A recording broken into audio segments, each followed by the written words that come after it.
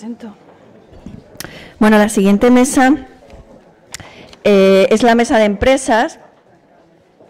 Estará moderada por Silvia Sánchez, que es directora de Plena Inclusión Madrid, y en ella participará María Jesús Pérez, responsable de Recursos Humanos, Diversidad e Inclusión de Sodexo Iberia Sociedad Anónima, y Carlos Carreido, director de Personas de Davan Expreso. Carriedo. Perdón, ¿pero está mal en el programa? ¿O está Carrido? Carriedo. Es Carriedo. sí. Carriedo.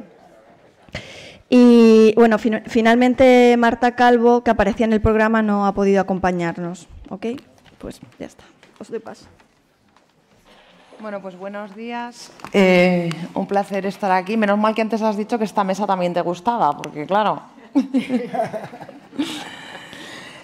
Eh, un placer estar en, esta casa con, con Tincat y mi agradecimiento a Plena Inclusión por invitarme a moderar esta mesa, que la verdad me lo ha puesto fácil. Me lo hubiese complicado más si hubiese tenido que hablar en catalán. Coño, ya lo siento, pero no, no, no hablo catalán, pero he aprendido bastante hoy ya. ¿eh? O sea, no solo he aprendido empleo, he aprendido un poquito de catalán, o sea que ya me voy, ya me puedo ir contenta. Pero es un lujo poder moderar una mesa porque una mesa como esta, porque al final, eh, digamos que ellos son convencidos. Ellos ya, son aliados de la discapacidad y por lo que he podido hablar hace un ratito con ellos, no solo de la discapacidad, sino de la diversidad en, en general y que también es importante abarcar. ¿no? Yo creo que, que el verdadero reto y que es un, y que es un reto global es que pongamos eh, remedio a la desconexión que lamentablemente sigue existiendo a pesar de buenísimas experiencias eh, como hay entre el mercado laboral y la, y la discapacidad. Antes ha dado, Antonio ha aportado, ha aportado muchos datos. Eh, la realidad sigue siendo todavía muy compleja, ¿no? cuando solo dos de cada diez personas con discapacidad intelectual o del desarrollo tienen, tienen, acceso, tienen acceso al empleo. Si nosotros hablamos además, eh, el último informe de APN hablaba de que la discapacidad eh, es un factor eh, para entrar en, en esa, en- esa población de riesgo de pobreza. Si eso lo mezclamos con la falta de acceso al empleo, eso se convierte en un cóctel completamente explosivo.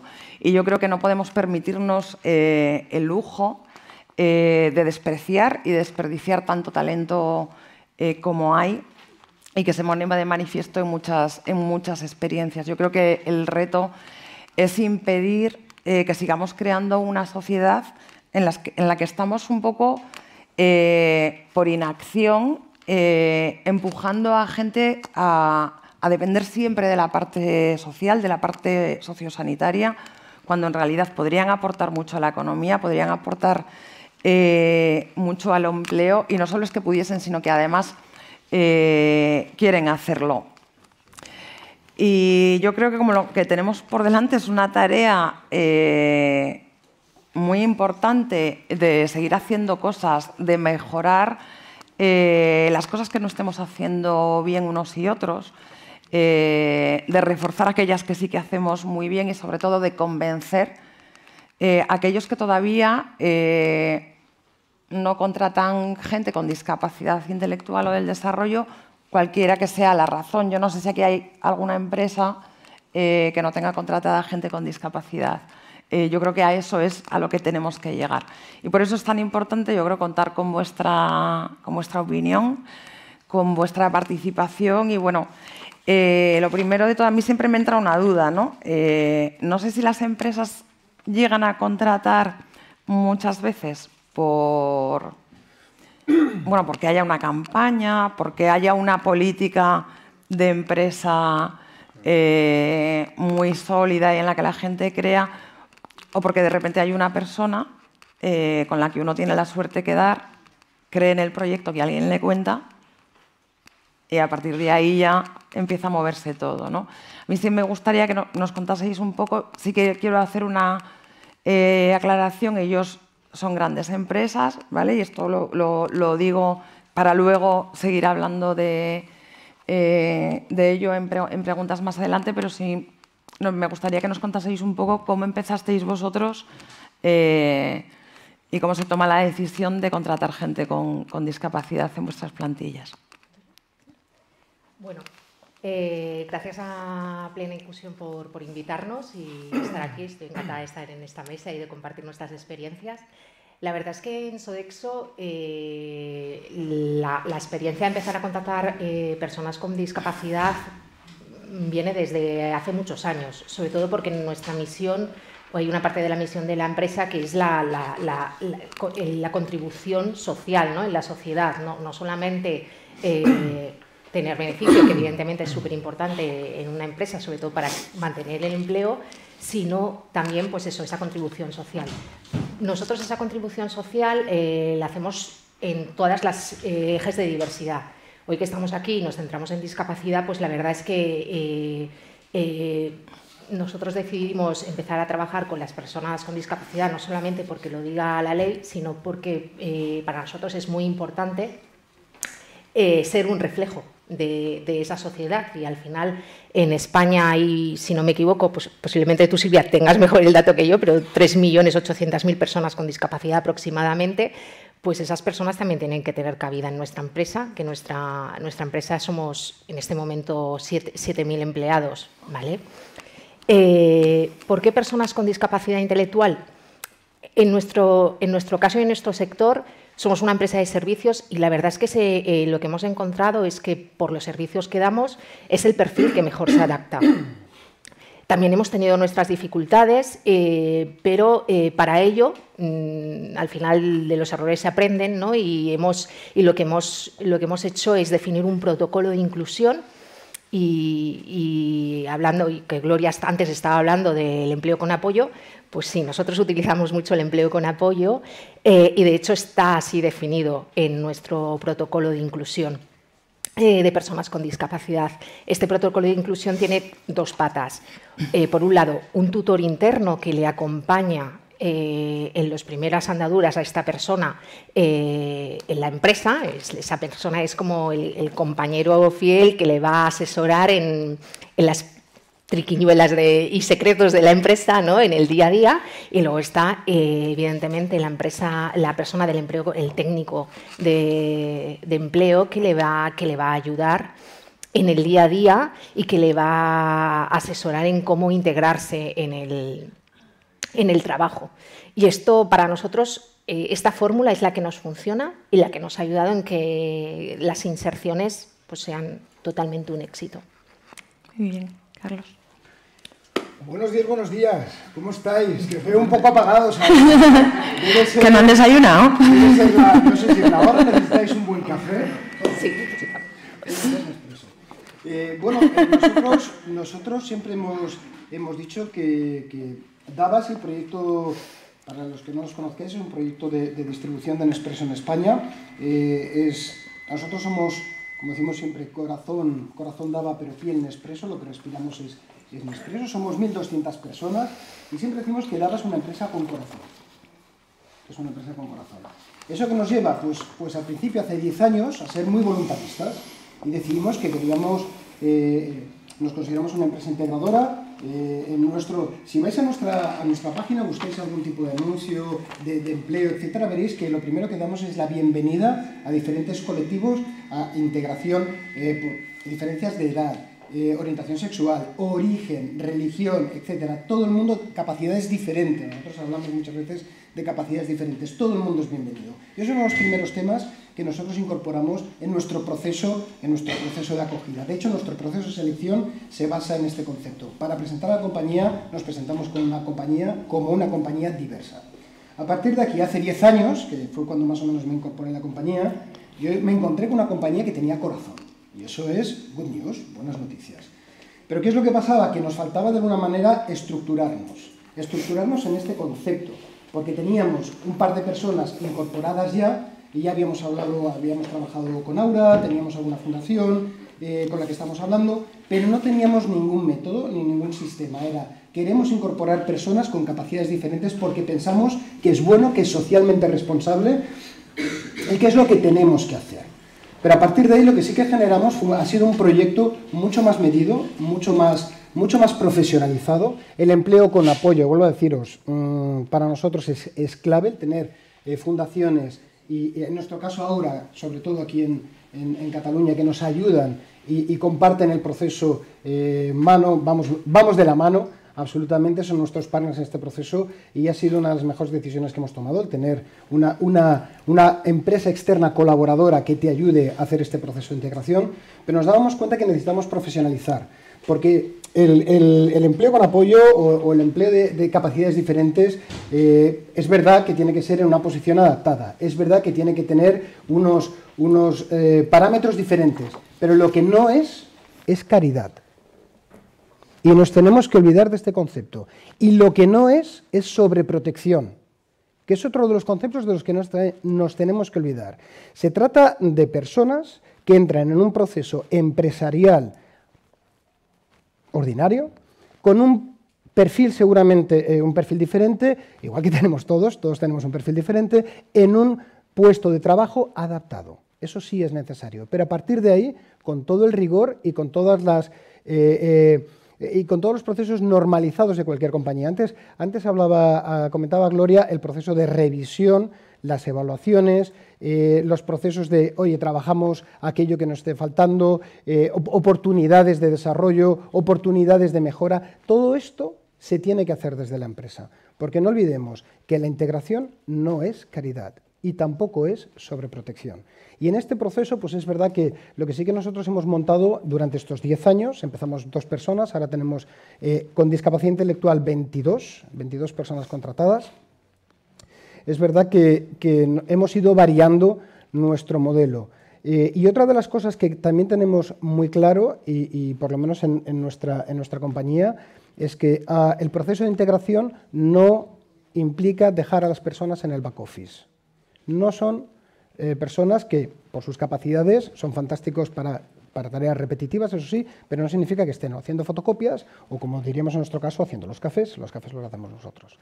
Eh, entonces es verdad que para nosotros ha sido muy importante el proyecto que hemos hecho con Aura, en, en este caso, en el que exponemos a nuestro equipo con capacidades diferentes en el front de la compañía. Si vais a cualquiera de nuestras boutiques, a cualquiera de nuestras tiendas, vais a encontraros, dependiendo de la jornada, también hemos hecho muchos aprendizajes. ¿eh? Empezamos contratando a 40 horas, se nos agotaban, entonces veíamos que, tenemos, tenemos, que racionalizar también eh, cómo lo hacemos.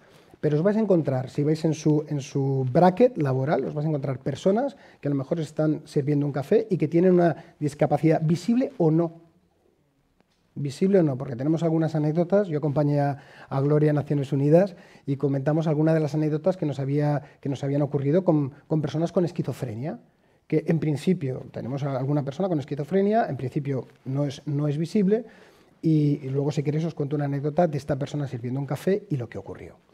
Eh, pero es el, el proyecto tiene que ser un proyecto de integración y para nosotros tiene que ser un proyecto visible que es otro de los elementos que hemos integrado en nuestra, en nuestra ocasión. Y ya no me enrollo más. Muy bien. Eh, tú hablabas de la Fundación Aura, que es quien os da apoyo. No sé si, no lo he dicho al, al inicio, eh, en el caso de Sodexo el apoyo es de APASCOVI, que es otra, eh, es otra asociación de Madrid. Si no me equivoco, vosotros tenéis cuatro eh, personas ahora mismo. Tres personas en. Bueno, la, las últimas, la última contratación han sido tres personas en, el, en la ciudad financiera del Santander. ¿Y vosotros más, de 20 o...? Bueno, nosotros tenemos más, ¿eh? O sea, no, digo, bueno, el del, del caso concreto que, estamos, ¿Cuántas personas con discapacidad tenéis vosotros? Nosotros ahora mismo tenemos, tenemos 28 personas contratadas con discapacidad, discapacidad intelectual, eh, capacidades diferentes, eh, tenemos 22. 22 de estas 22, 20 están en nuestras boutiques, en el front. ¿Y habéis tenido que hacer muchas adaptaciones en el, en el puesto de trabajo? O?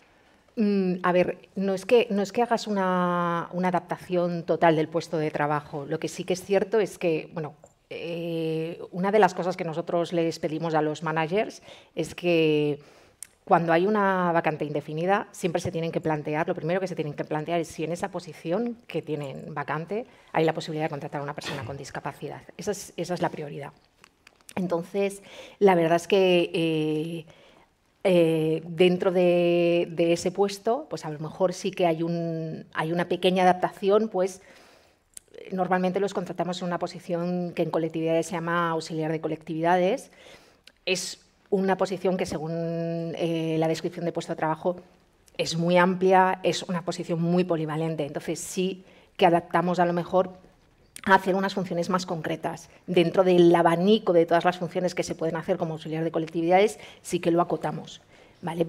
En función también un poco de, la, de, las capacidades que tenga el candidato que, o la candidata que vaya, que vaya a ser contratada. Muy bien.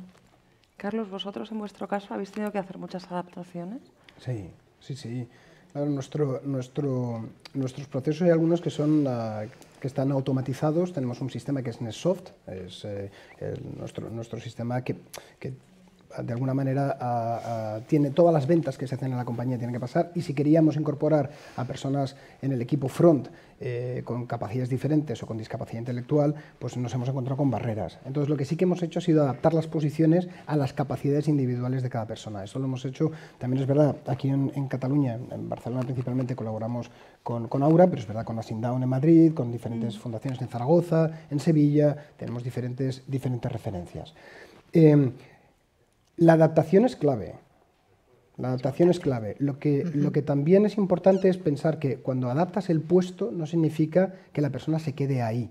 Que a veces tenemos la tendencia, a, bueno, ya he aprendido estas funciones, qué bien, que se quede así. En nuestras empresas normalmente siempre decimos, oye, hay un perfil, un proceso eh, de adaptación y siempre hablamos de desarrollo de, de, los equipos, de crecimiento de las personas. ¿Por qué no planteamos lo mismo para estas personas, para estas personas que tienen capacidades diferentes, a su ritmo, con su velocidad, pero siempre con este proceso de si exigimos a nuestros equipos crecer, a nuestras personas crecer, ¿por qué no a ellos? ¿Por qué no les sacamos de su zona de confort? Una vez que dominan su entorno, vamos a lanzarles nuevos retos. Y esto es una de las cosas que hacemos. A veces fallamos, a veces fallamos. Y si el proceso falla, pues a veces hay que plantearse la no continuidad vuelvo a insistir en que, en que inclusión, integración no es caridad. Entonces, hay que tratar a estas personas desde un punto de vista normalizado con las adaptaciones necesarias.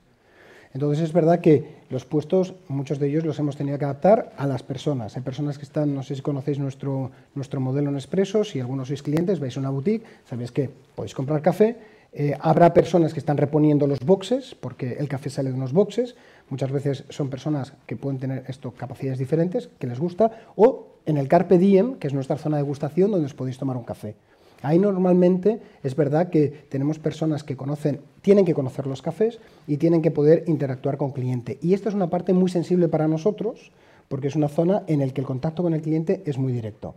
No necesitan tener eh, equipo informático, sino una serie de habilidades. Aquí voy a meter la anécdota, ¿eh? porque esto fue en un Carpe Diem. Pues tenemos una persona que tiene, eh, tiene esquizofrenia eh, en una de las boutiques y eh, visualmente tú no detectas, tú no detectas mm, nada. Una, una, una, clienta, una, una clienta en expreso, le pide un café con leche y le sirve el café, la clienta lo prueba y dice, está frío, la leche está fría. Y esta persona le dice, no, no está fría porque lo he calentado con el aerochino, no está fría. Y dice, no, no, es que está frío, es que está... Sin acabar, coge la persona, coge nuestra, nuestra, nuestra coffee, mete el dedo en el café y dice, está caliente. Entonces, imaginaos la reacción de la persona. Claro, ella de manera empírica dice, oye, tú me dices una cosa, yo digo otra, voy a comprobarlo. De manera empírica, meto el dedo en el café y compruebo que está caliente. Claro, la reacción de, la persona, de la clienta, fue, pero, pero niña, pero ¿qué haces? Pero tal. Entonces, yo, yo, estaba en la boutique en ese momento, no vi pero estaba, justamente ese, día estaba allí y escucho este, este revuelo y me, y me acerco y me cuenta el área manager, la responsable, me dice, no, no, es que ha pasado esto, ya le hemos explicado a la clienta que es una persona que está en un proyecto de integración, de inclusión. Claro, el mensaje de la persona que recibe, eh, que a veces, a veces esta, esta, parte pragmática nos llama la atención, pero cuando le decimos qué es lo que está ¿Cuál es el proyecto? Pues la persona es, ay niña, no te preocupes, fenomenal, oye, ponme otro, no te preocupes, tal, tal, me lo tomo, lo que sea, lo que haga falta. A veces es, muchas veces eh, nos sorprenden, y esto es un, ejemplo de cosas que nosotros nos han sorprendido, que nunca haríamos, pero que dices, oye, si es que, si es que al final, para comprobarlo, pues es lo que ella le nació. Y con este tipo de reacciones, con este tipo de reacciones es lo que tenemos que saber. ¿Eh? Estaba caliente. Sí, sí, sí, ella se lo dijo. Le dijo, no, no, está caliente. Además es que dijo, ve cómo está caliente. Entonces, este tipo de reacciones es a lo que nos tenemos muchas veces que, enfrentar y, son cosas inesperadas que no podemos anticipar, pero que sabemos que se pueden producir. Y esto muchas veces es la, belleza del proyecto. Esto, fue una anécdota que, fue comentada, que es, que es común, que ha llegado incluso, la contamos, ¿verdad, Gloria?, en, Naciones Unidas y que es uno de los ejemplos, nos da risa ahora, pero en ese momento, pues una situación que se generó de, tensión con un cliente. Bueno, yo que conste, eso de que no lo haríamos, a mí tentaciones me entran a veces, ¿eh? no con esas cosas, sino con otras con muchas. Otras, con otras muchas, sí, sí. o sea que sí que os quería preguntar, eh, a la hora de incluir personas con discapacidad en la plantilla, eh, hay uno de los datos que, arroja el estudio que está llevando a cabo Plena Inclusión, que pone de manifiesto que es necesario el, sensibilizar, el, hacer... Mm, eh, formación y acciones con el resto de la plantilla para también eh, facilitar la, inclusión de, personas con discapacidad y digamos que todo fluya eh, de una manera mejor. ¿Vosotros lleváis algún tipo de, acciones concretas cuando vais a incluir a una persona? Eh, nosotros hacemos unas formaciones específicas en temas de diversidad, eh, que es una, formación que se llama Spirit of Inclusion, es una formación muy vivencial, muy emocional, eh, para intentar que estos managers descubran un poco cuáles son sus sesgos más inconscientes y los puedan sacar a la luz eh, hacerlos conscientes y evidentemente trabajarlos. ¿no? Entonces, no solamente trabajamos eh, el área de discapacidad, sino los otros ejes de, diversidad, género, generaciones, eh, origen étnico y diversidad y orientación sexual. Entonces, la verdad es que sí, es súper importante, súper vital. Además, este tipo de formaciones también te hace dejar clara cuál es la política y la posición de la empresa ante los managers para que los managers también sean conscientes y se involucren en, los proyectos de, inclusión, eh, que, es, vital, es, absolutamente vital. ¿En vuestro caso, Carlos? Sí, en, nuestro caso también lo hacemos. Mm, a nosotros nos acompañan, es verdad, las, las, fundaciones en este, en, este, en este proyecto, pero y como, como, comentaba, como comentabais antes, eh, tiene que haber una persona dentro de la boutique, una persona de referencia para esta, en nuestro caso, o dentro del entorno profesional. Tiene que haber una persona de referencia en interno y después el acompañamiento de las, de las fundaciones, de las diferentes organizaciones, ayuda muchísimo. Em, es verdad que hay una cierta sensibilidad, sobre todo los equipos, de decir, ¿cómo tengo que tratar a esta persona? Porque, oye, fenomenal, fenomenal el que me traigáis una persona con una capacidad diferente. Qué bien qué bien suena, pero una vez que la tengo aquí es, ¿y ahora cómo lo tengo que tratar? ¿Cómo tengo que gestionar la diferencia? ¿Cómo tengo que gestionar el que no me haga caso? ¿Cómo tengo que gestionar el que no entienda las cosas, a, pesar de haberse explicado, cómo reacciono ante esto?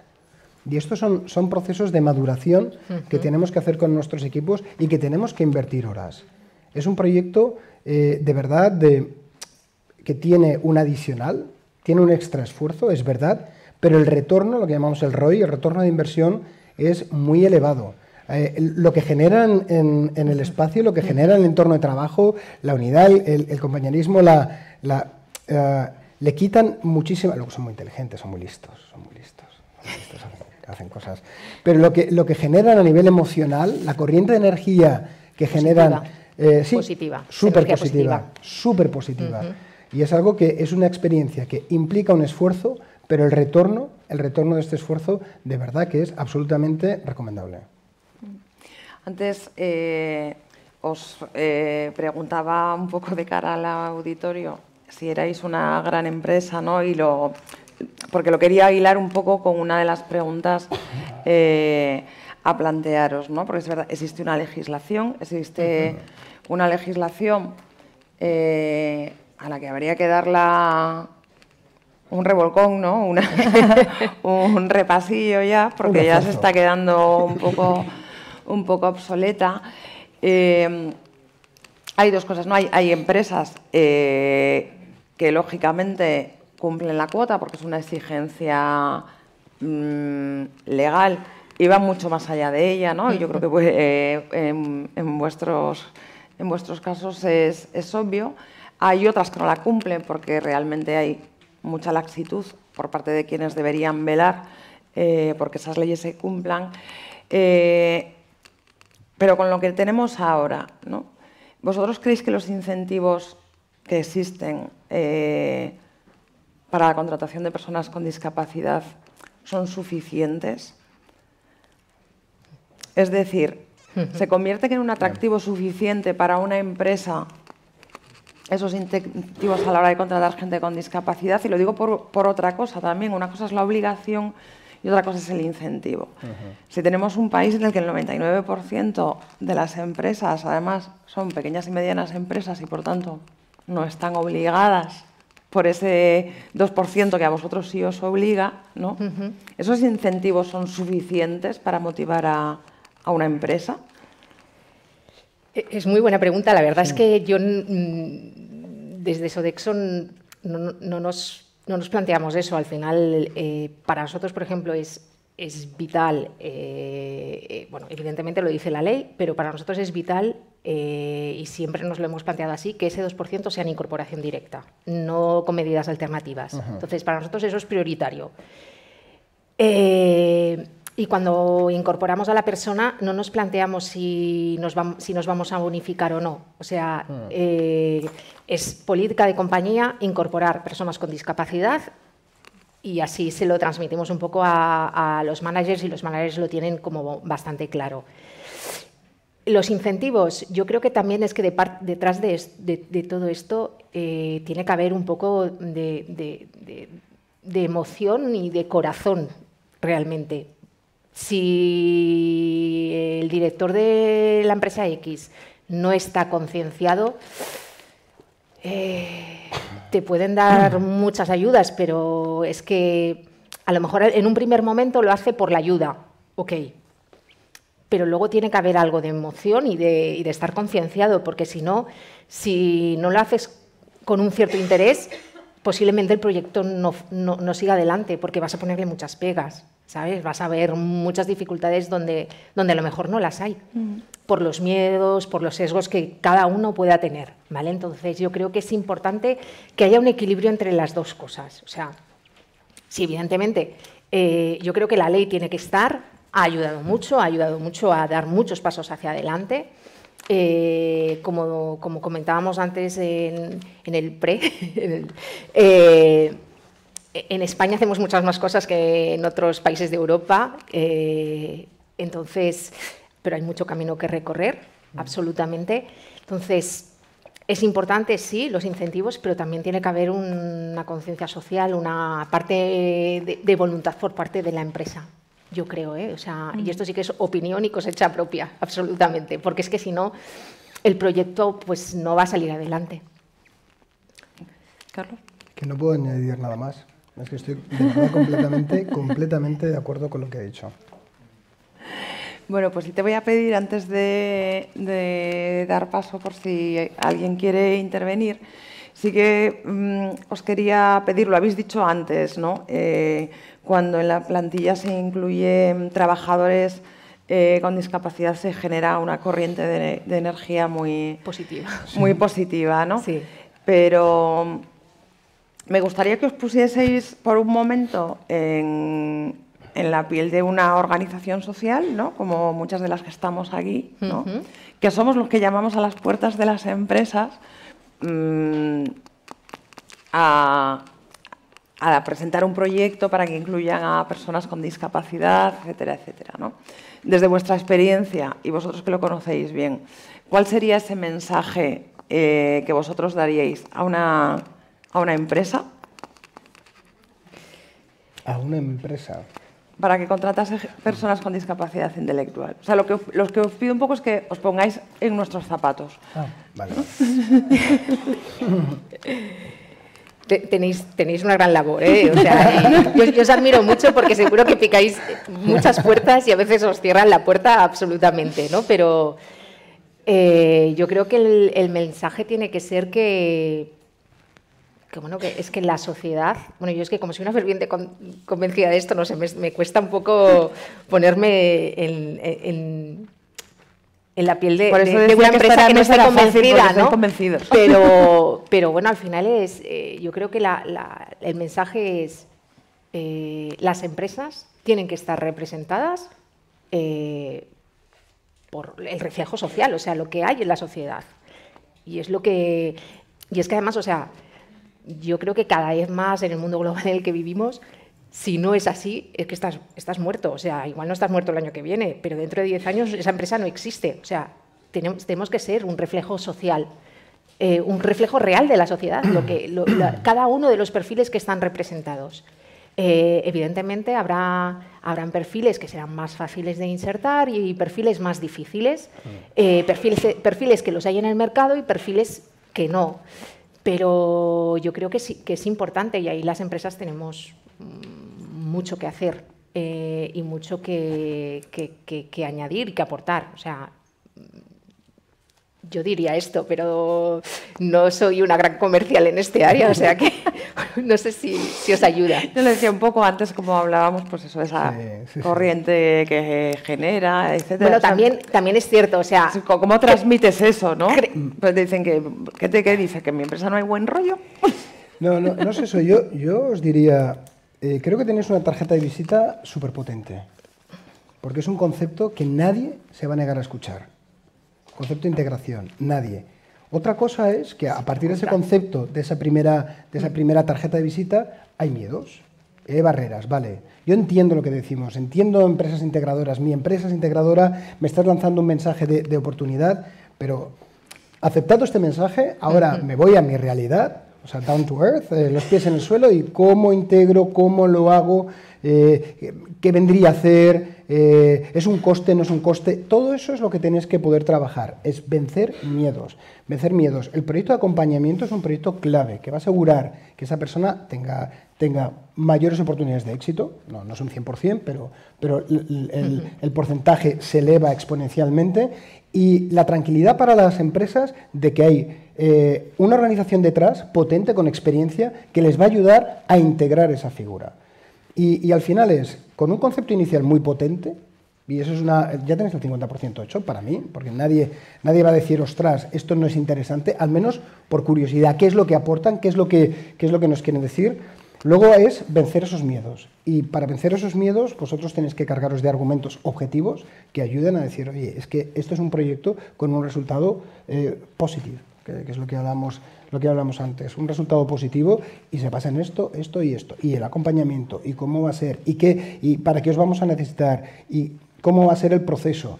Este proceso que aclaras porque estás incorporando una persona eh, con unas, unas, situaciones diferentes a lo que a lo que a, los perfiles habituales, es lo que yo creo que tienes que vencer, ayudar a vencer. Bueno, yo creo que hay...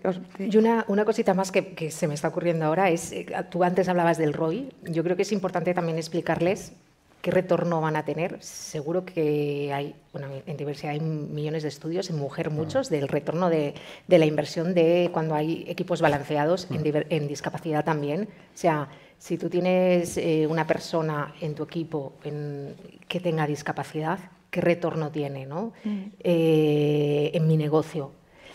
Eso yo creo que es un elemento de venta importante. Importante. Bueno, para... contar con vuestra ayuda siempre, ¿no? Para, también, también. De, esto. Pues si os parece, si alguno tenéis alguna pregunta eh, que hacer a Carlos o a María Jesús. ¿Quieren el café, Carlos? Venga, va a animaros, ¿eh? Que... ¿Quieren el café? No, la mía es muy sencillita. A la persona de Sodexo, que habías dicho que cuando contratabais a una persona con discapacidad intelectual, le asignaba o se le asignaba un tutor dentro de la empresa. ¿Ese papel lo asignáis vosotros? ¿Se presenta un voluntario? A ver, normalmente eh, buscamos a alguien que tenga cierta sensibilidad y que quiera eh, hacerlo, evidentemente es voluntario, porque si obligas a alguien tampoco, entonces no va a salir bien, pero normalmente es voluntario. tú hablas con el jefe de centro o la jefa de centro que va a, la que se va a incluir esa persona y entonces él ya te dice, pues mira, Pepita, fulanita es la que le va a hacer de tutor y le va, y le va a acompañar. pero no, no, es, voluntario, ¿eh? no, no obligamos a nadie.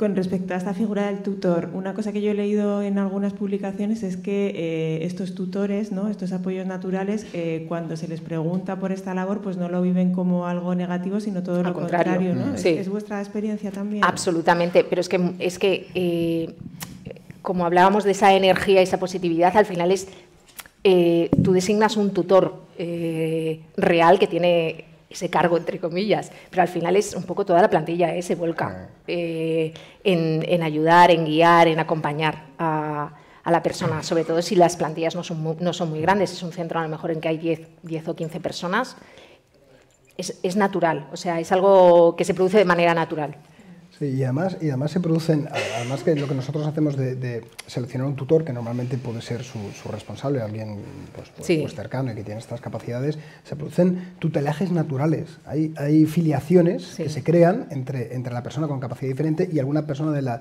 de la plantilla del equipo y al final se convierte en su...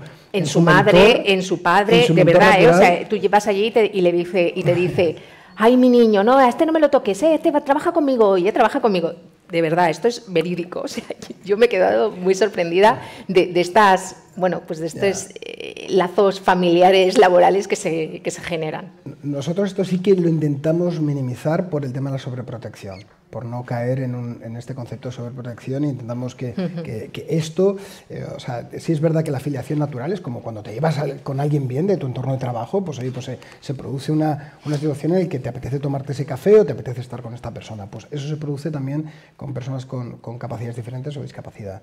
Lo que sí que intentamos es salir de la sobreprotección. Cortamos mucho el, el manismo, el papismo. Esto, esto nosotros eh, lo trabajamos mucho también en interno. Em, bueno, primero gracias por la labor que hacéis y por, por, lo que estáis transmitiendo, que es muy esperanzador. Y segundo, mm, ya si no es encima pedir un poco más, ¿sois activos promoviendo vuestro modelo? Bueno, estamos aquí hoy. Sí, pero digamos dentro de las organizaciones em, empresariales. Es una prueba, es una prueba irrefutable.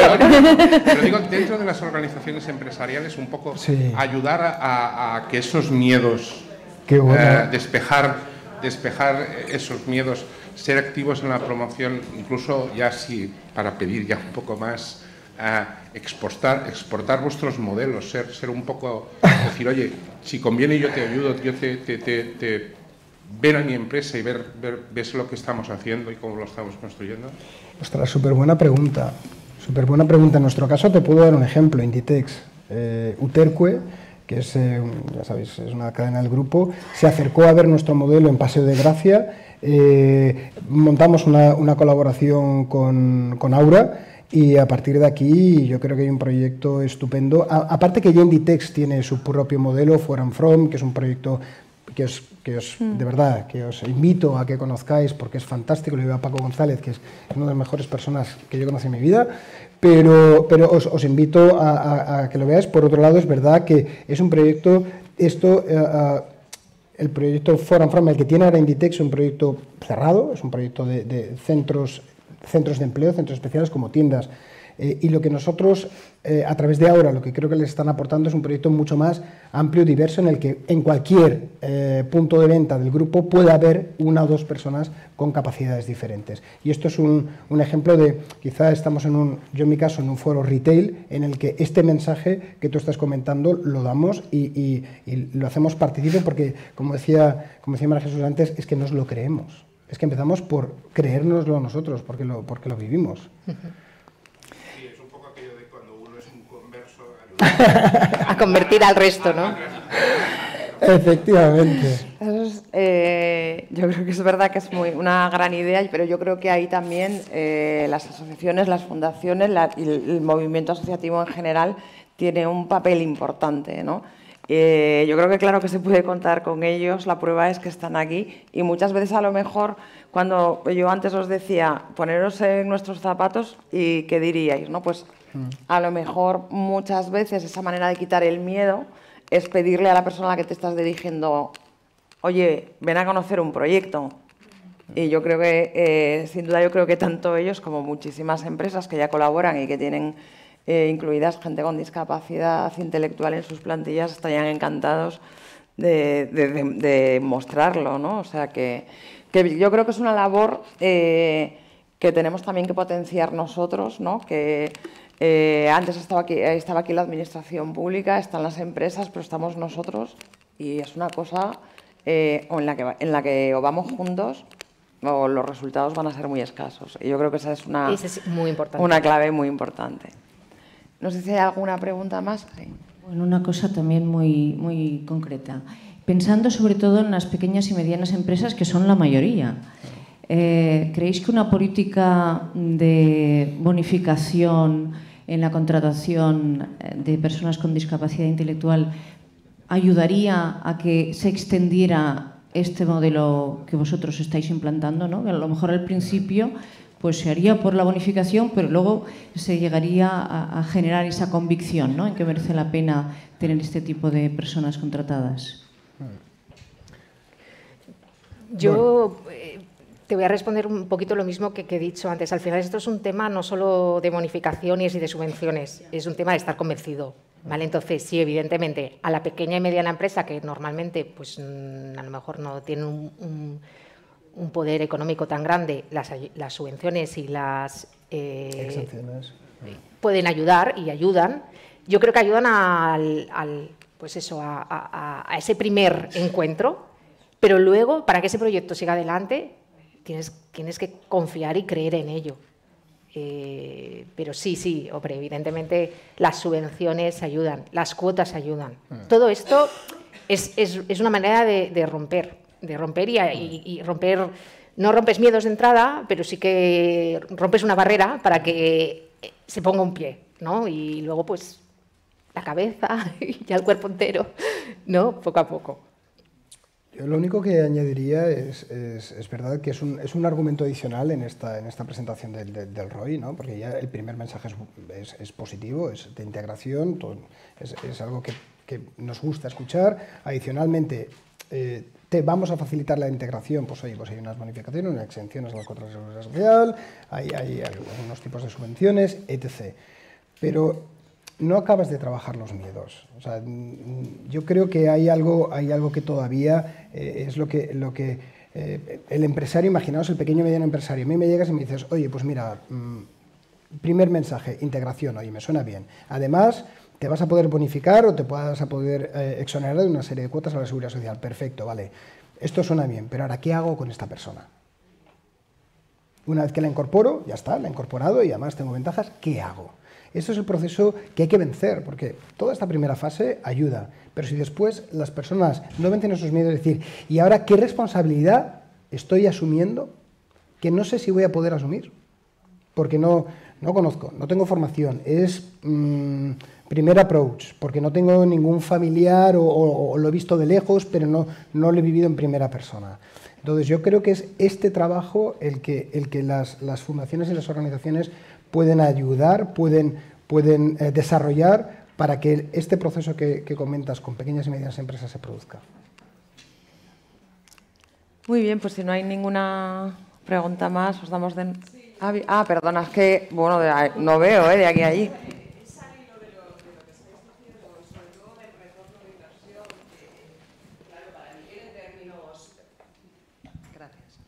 Para mí es un término económico.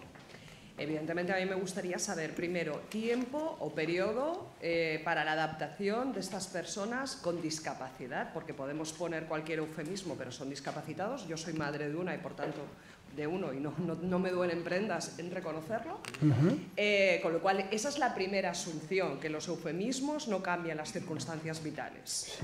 Eh, absolutamente. Entonces, periodo de adaptación que tienen los trabajadores en el momento que los incorporáis ex novo, o sea, qué, tiempo tienen, eh, calculáis de media para que funcione de una forma eh, acompañada o autónoma, pero que responda a su puesto de trabajo. Porque yo os escucho y sí que realmente eh, hay, hay un paternalismo en toda esta, esta situación.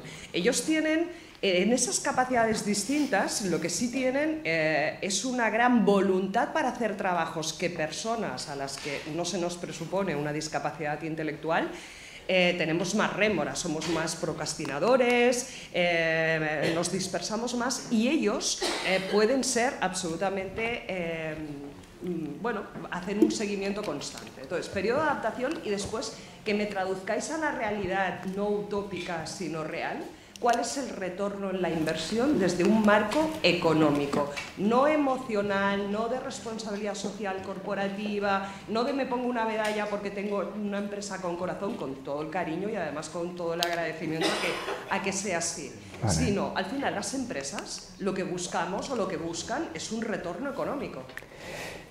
Déjame hacerte un matiz antes de, contestar. El ROI, el retorno de inversión, no, es económico. Entonces, déjame hacerte este matiz. Hay una parte que es cuante y una que es cualitativa. Entonces, Primero, por, por la apreciación. ¿eh? El, matiz es importante porque nosotros es verdad que hay una, hay una parte cualitativa en este retorno de inversión que es clave. Otra cosa es la, cómo cuantificamos eh, eh, el resultado de estas personas, que es que su jornada, la productividad, lo que hacen, etc. Pero déjame recordarte que el ROI siempre es quali y, y cuantitativo.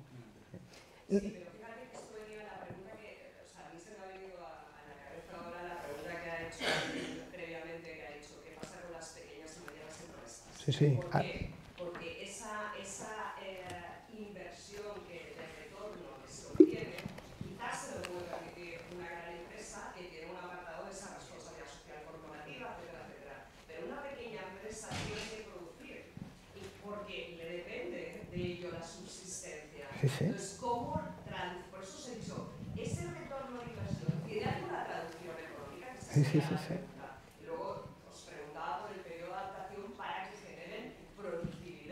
estas personas en vuestra, experiencia. No sé si me habéis oído. Sí, sí, te hemos escuchado, te hemos escuchado. Eh, dos partes. Eh, el periodo de adaptación. Nosotros lo estimamos en dos, tres meses, ¿vale? Pero cada caso es diferente. Claro, pero es que cada caso es diferente eh, en todos los empleados, ¿vale? Tengan o no tengan discapacidad. O sea, no puedes hacer, decir, definirlo y cerrarlo, ¿vale? De hecho, con el trabajo con apoyo es que nosotros mm, nos dejamos guiar por la técnico, o sea, para nosotros el momento en el que, mm, por decirlo de alguna manera, ¿eh? y siguiendo tus palabras, esa persona pasa a ser productiva, que para mí es productiva desde el primer momento, porque al final, aunque tenga una persona que le está acompañando, está produciendo, ¿vale? Eh, pues es en el momento en que la, técnico de empleo con apoyo empieza ya a no estar todos los días en, el puesto de trabajo acompañando a esa persona. ¿vale? La parte de ROI, yo creo que, a ver, yo no he hecho el cálculo nunca, eh, desconozco en este, en este momento si hay algún estudio específico eh, referente a ello. En género lo hay y te podría dar los datos porque de hecho Sodexo ha hecho, ha hecho el estudio a nivel mundial y te podría dar exactamente los datos cualitativos y cuantitativos. Pero bueno, a mí, a grosso modo, por un lado, para las pequeñas y medianas empresas, cuantitativamente tienen unas subvenciones y unas bonificaciones. Ahí hay un retorno de inversión que con otros empleados no tienen. Si, si estamos hablando de que esta persona produce, también hay un retorno. Eh, recordar que estamos hablando de que al final es un, em, es un empleado o una empleada que está, está trabajando, por tanto, hay una productividad, hay un retorno. Y luego, evidentemente, toda la parte cualitativa, que yo creo que es que es súper potencial, es, es, la parte que, que da un punto diferenciador absolutamente a, todo. Y esa es la parte, no, nos olvidemos, ¿eh? y en esto sí que hay muchísimos estudios que demuestran que, cuando hay un, equilibrio y hay una parte positiva y emocional en, una plantilla, las productividades aumentan. Eh, entonces, mm, si el tener contratada una, una, persona con discapacidad en una plantilla hace que, que haya un entorno más positivo y haya un mayor compromiso, ya tienes el retorno, ¿vale? Y de eso sí que hay muchos estudios. ¿eh? Yo, yo, en este momento la verdad es que no me sé el porcentaje, no tengo los números, no he venido tan documentada para, para, para esta conferencia, pero sí que yo creo que, que, que no sé si te, hemos, si te he podido responder, ¿eh? pero... medianas empresas tienen más problemas y son la mayor parte en, en, en este país. Entonces yo, oye, yo como madre... Pero las pequeñas y medianas empresas... Agradezco. No, no, era para, para, para, transmitirlo, porque fíjate que hablabais de vencer los miedos, y es cierto, y además es cierto y es sano que sea así, porque eh, hay que saber tratar a estas personas. Claro, cuando las sabes tratar, por eso de ahí que el acompañamiento, un tutor específico sea bueno, eh, cuando sabes tratarlas, vences esos miedos, pero claro, tienen comportamientos atípicos eh, o diferentes y em, que hay que saber canalizarlos. Quiero decir que al final, cuando eh, explicaba lo del café, eh, claro, pues hay, que regañar a esa persona, hay que educar. Eh, nos pasamos la vida, la vida educándonos y a ellos también, porque si no, claro, tienen que saber lo que está bien y lo que está, y lo que está mal, aunque tengan esa Em, empíricamente tengan esa reacción. ¿no? Entonces, bueno, nada, yo solamente agradecer, sí, sí, me, habéis contestado y esperar que las pequeñas y medianas empresas vendan esos miedos con información, porque al final es una cuestión de información y lo tenemos que canalizar todos, las fundaciones, el ámbito público y, y las familias, que también estamos y somos un eje central para todo este tipo de circunstancias. Muchas gracias. Bueno, si os parece, porque vamos ya a fuera de tiempo, estamos ya en la prórroga, antes de que nos echen, eh, os agradezco de, de nuevo de todo corazón que, que hayáis estado en esta mesa compartiendo vuestra experiencia con nosotros. Muchas gracias. Vosotros.